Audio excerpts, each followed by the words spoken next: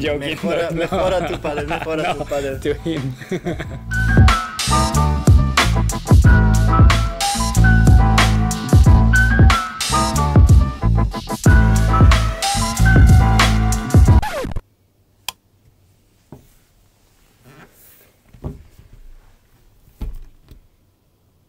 Should we try? yeah. Give it a go. Okay. All right, welcome everyone to a new episode of uh, my video vlog. Um, the vlog without the name. Let's see when uh, when we uh, get a good name, or maybe some of you that is following this vlog uh, come with a good suggestion. Uh, let's see. Uh, Vamos Andy, I've I've already had us. Vamos, Andy. Vamos Andy. It's a, it's a good name. It's, it's, it's good in Spain, in Spain, but Yeah. I'm not talking Spanish, so it's a bit tricky, maybe. or Venga Andy. Okay, so um, I am Manu here. This episode will be a, a question and answers, uh, and it's actually my own questions uh, this time. It's not uh, you or through the uh, Instagram or through mails. Continue to ask me things through Instagram. I love to be in contact uh, with all of you and talk uh, padel uh, with people across the Europe. Uh, that's what I like. So Manu, last day in Sweden Last day for this weekend. Yeah. for this weekend, and you come back. In, I'll be back. Yeah, you'll be back. I'll be back. it's a secret when and where, but you No, will be well, okay, I'll be back. Yeah. and your experience this weekend. Yeah, it's, uh, I I like every time I come to Sweden, it's a new experience, and I'm learning new things, new things, and uh, really good. Uh, meeting new people and and new clubs, and really, I like very much coming here and see new things. And today we are at Padel Crew Padel crew, in Helsingborg. and yeah, and yes, about uh, about padel crew, I think it's one of the, if not the most, it's one of the most uh, big, one of the biggest club I've ever seen, and it's really amazing. And I'm already trying to figure out about the, the size and the quality of the of the um, facilities. So Uh-huh. it's, it's amazing. And you cannot think of any other club you have seen that is in. No, because yes, about the size, because the size of, of, of the building, but not about the kind or the organization or the distribution distribution of, of the courts. Because in Spain we design the clubs to be as many courts as possible, uh, uh, courts as possible inside. Then you put one uh, close to the other. Mm. Uh, but here they are just in line, so you have a lot of space out of um, out of the court. So it's not very interesting if you're looking for earning a lot of money. That's really interesting if you're looking for have the, the best ambience and and the best experience. yeah, Yeah. I think so Yeah. because it's not so noi- noisy and so a lot of space. I, I think it's really interesting and really high to the to the roof. Really, really high, really high, and good burgers too. Wow, yeah, that's good. Yeah. I can say it because I've tried. So, so uh, continue with the questions, uh, and the first one, um, World Padel Tour 2019. Yep. Uh, what is your thoughts when I say World Padel Tour 2019? Because it's a different season. Yeah, it's a different season. There are a lot of changes. My first thought is about my, my couple, about Ale Salazar and Ari. I will, I am trying to do our best. Now we are, uh, they are, uh, couple number 3 just the same like Marta Marrero and Marta Ortega, Yeah. the, the Martas. So uh, on that first uh, tournament in Malaga, they're three both then we have to find out which what, what of what uh, which one of them is going to be the number three and number 4 It depends on, on that on that championship. So it's going to be really stressing, stressful that first tournament. They are important, the first ones. Yeah. But is it like this that if you are number three, you're not always playing the number ones? Or the second one? Or is it like that in Uh, the semis? In the semis, yeah, I th- I think uh, I, I maybe I have to to check it. But if you're the three, you're playing against the against the number one, again against the number, Number two. two. But sometimes they they were Yeah. by draw. Draw is The, the, the draw is, yeah. Uh, anyway, it's not it's not the same like like being the, the number five. Your number five is another step. for sure. Anyway, you you like to be the number one, uh, number one or number two, and then the next step, next step is between three and four, and then five to eight is more or less is just the same. Mm. And after the eighth, the eight, you're you're death because because it's really difficult. Yeah, yeah. That was your first thought. And uh, what do you more think of, of the World Padel Tour this the Well, coming year? Yeah, about the males because this is about the fem- about the females. I think it's going to be really nice watching to the females if they can go into the twins or uh, Gemma y Lucia. And the second one is about the males. There are a lot of changes, a lot of new couples. Mm.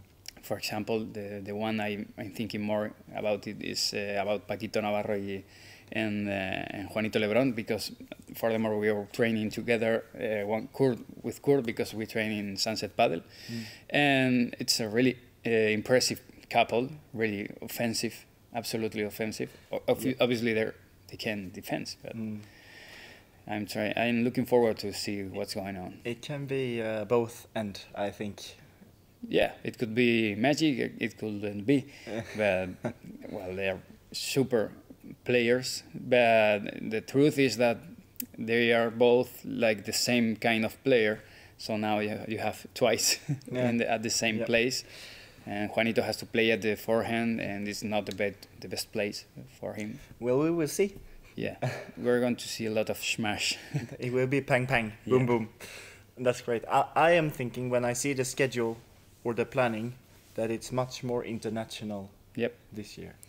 Yes, What World Tour yeah. is trying to develop on, on this point of view because now we're playing one World Padel Tour World, Mm. and we are nearly all, the, all they are playing only in Spain and some couple of tournaments in, in South America, and then trying to go to the to for uh, through Europe and they're trying to do more international.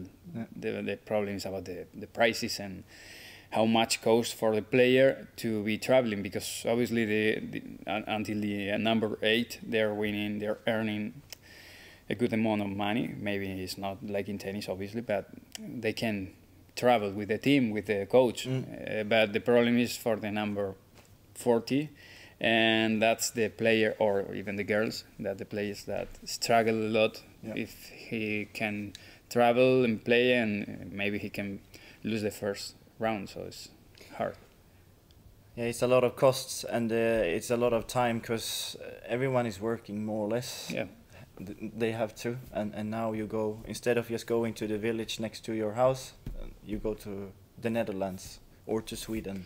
Yep. Yeah. So uh, this this weekend I've tried to make you a little bit more Swedish. yeah Yeah. What about the breakfast this morning? wow it's so heavy what's the name Gröt. Havregrynsgröt. You can, you can try. yeah Havregrynsgröt. Havrekins gröt Perfect. okay. Yeah. Heavy, huh? yeah really heavy That's good. i i i could not finish it No. but i I was so thir- so thirsty two glasses of water for a spaniard I think it's fair because I'm the double size of you, and you you eat like fifty percent. yeah but n- now we have uh, we have ate um, hamburger and i have eaten the same like you that's true. okay, that's good. Um, all right, uh, uh, it's something completely else. Um, in Sweden, there is like a, a mystery about the bandeja. yeah For, for in spain time In in Spain spain the same yeah uh, the three, your best, the three best advices for Okay. a complete beginner okay that I think is also useful for the advanced Yeah, players. Well, the, the first one is about uh, bandeja is the name, uh, but there are different kind of bandeja. It's like the forehand or the backhand. Okay, you have the forehand, the, the forehand, but you have the flat, the top, the fast, the slow. So the first thing is to know that the bandeja is the concept of trying to win uh, the net again, to, to keep. Uh, I want to stay at the net because I'm able to to win more points. I can be more offensive when I am close to the net. Then I want to keep the net for me and my partner. Then that's the the, the first goal with the bandeja is trying to keep the net and to push the opponent to be defending all the time. because uh, otherwise he's going to attack me, counter attack me, and it's and we don't really like that situation. No? No. so that's the first one. That's the first. Yeah, the second one is, is thinking about the about the rhythm, about the time that look that I'm not talking about the technique. I'm firstly talk, talking about the tactic. So try to think about the speed I need to go to go back uh, once and once and once because one more time I have to do it the bandeja, uh, trying to wait for my moment to push and to boost. And then when I'm, I feel comfortable, then I can shoot uh, harder, but it's only when when I feel comfortable. And the third one, uh, it's for the beginner players, is trying to make it as easy as possible. Think that you're hit, uh, shooting uh, one volley. It's like the volley. It's, uh, I, for me, the bandeja is different than the than the than the vibora viper, and the bandeja should be made like a high volley. Okay, high volley, forehand, high volley, and then as easy as possible, you can begin with the flat, the flat spin, and then you can use some backspin. And if you're you feel comfortable from the middle of the court, put into the back wall slow, or if you have uh, enough angle, then you can put to the side wall. But always making it uh, take it easy as possible. Yeah. Okay, because you have to put the bandeja all the time, all the time inside. Anyway, here in in Sweden, uh, the, the the the game is really fast, really fast. It's really fast. Yeah. And I think i it's it's a really good advice because my experience when I, I give in uh, lessons is that we overcomplicate the the bandeja. The question is like, is this a bandeja or not? No, it has to be sliced. It has to be this. It's more like a, yeah, as you say, it's a concept a- with with different variations. Yeah. So it, it can it can look in quite many different ways. Also very individual for the different players. Yeah, it So- depends on the player. so it's it's an overhead. You can do different spins. It's it's still a bandeja. Yeah. So- yeah. Great stuff. Hmm. Um, we we went to this. No, we didn't went. We organized a coaching seminar for for coaches yesterday, and one hot topic was the rules about the serve because we can clearly see the professional star players. If you have the center line, they have the impact of the ball over the center line, so it's it's not in the um, uh, in the in the cross. You Yeah. can say. So what is actually the rules? Actually, actually, the rules. Okay, we have now, now is the, the moment of truth, moment of truth. Okay, and and you will be responsible. okay, and now okay. Then what about the the rules on the service? We have three points. Okay, your feet has to be in your own side. Okay, that what the rule says. Uh, the second one is that you have to bounce the ball inside your own side of the field. And the third one is that you have to serve cross court. But uh, you can bounce on your own side. The ball can go to the right side of the court. You can impact over the right side of the court, always with your feet in your own field. And then you can uh, serve cross court, but, are, but there are two kind of cross court: this one or this one. So it's allowed because the rule is wrong, but uh, you can do it. Clear. and you can have uh, you, you you only have to have one foot Yeah, in the the on the rule ground. the rule says uh, it says that you have to be at least at least one that you have to, to Yeah. you must have in contact uh, you must be in contact with the with the round because you you're not allowed to jump but theoretically uh, stepping is not jumping so you can put one step out up then what people do is uh, first of all walking because you can do you can use two kind of serves the dynamical or the Statical. statical surf and when you're in the dynamical then you can step step forward and at the same time you can go on one only on one only f- uh, foot and then you're putting your waist uh, higher then you're improving your surf Yeah. As you see here in in in the clips, as you can see as you can. yeah. What else? What else about the serve? We discussed a lot. Uh, yeah, we, so we you, can, you're talking- only allowed to take one step, yeah one step, only one, because then you're The- Juan the- Mieres style. yeah like Juan Jimenez or like Agustin Silingo, because then the referee uh, he will say that you're running and you're not allowed to run. You, you can. Uh, They asked me for two more questions. One is, uh, are you able? Can you bounce the, the ball or you have to let it uh, fall, drop the ball, and you're allowed to to bounce. Uh, long time ago, it wasn't allowed, but now it's now it is. So you can bounce, and I recommend you to bounce. It depends on the trainer. I recommend you to bounce. And the second one was about the edge of the of the glass on the side wall when you're pico. serving. El pico, pico. In Spain, we had in Spain and in Argentina and Brazil, there was the, the one of the older oldest uh, courts were, had the pico. The it's like um, the side wall is n- ju- is not just exactly with the with the fence. So there's a pico, there's an, an edge. Then if the ball goes directly to this and bounce on this uh, edge, um, sometimes do different things. So I can understand when you play on concrete muros. muros, It was walls. this big edge. Yeah, there was so a the ball could basically go straight back to. yes. I think that was the questions. So the last one then.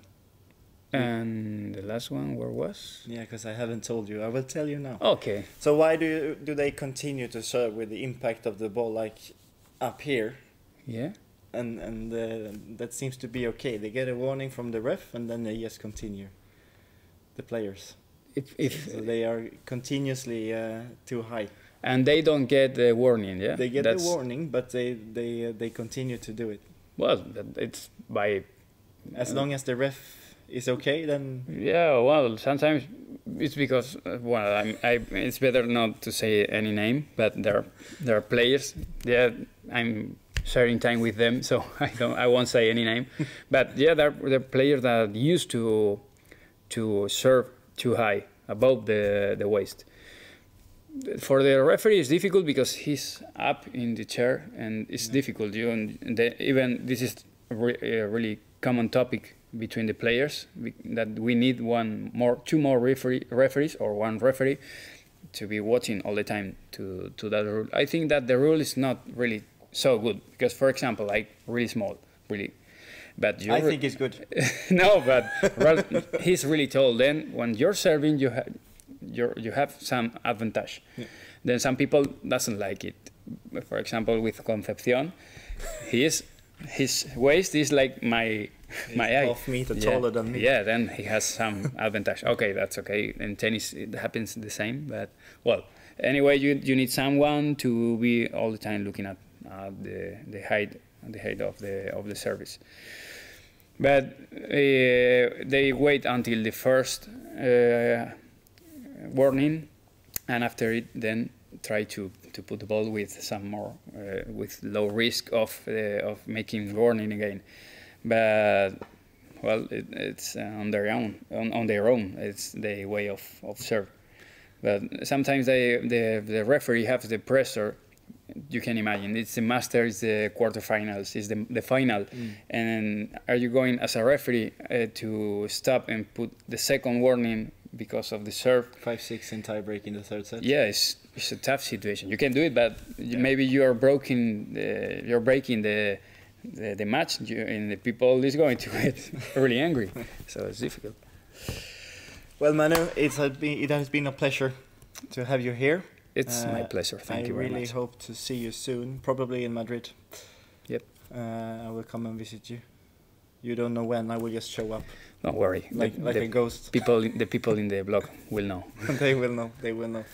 Thank you so much, uh, guys, for, for watching this episode. Um, and uh, next time, I hope to be able to base um, the episode on questions from you. So bring them on on Instagram or here on YouTube, and uh, or to my email. It's easy to get the email through Instagram as well. So take care and have good matches out there. Until next time.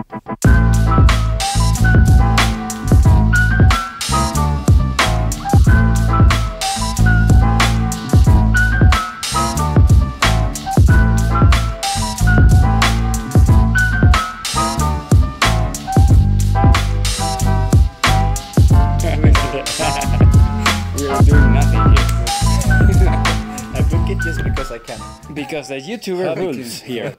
Perfect. okay.